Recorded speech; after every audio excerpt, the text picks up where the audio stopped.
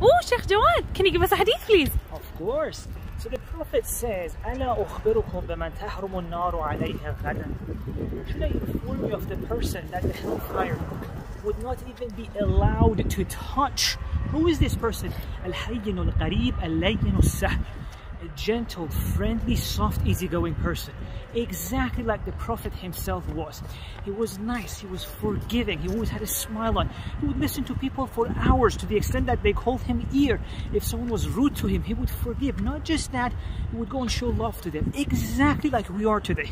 If anyone looks at Muslim countries these days, they will just see love, beauty, softness, easygoing. There's no anger, there's no resentment, right? If someone disrespects our religion, we do exactly what the Prophet would do. We show them love, we forgive, right? And I wish I could say this and they were true, but it's not. We've messed up big time.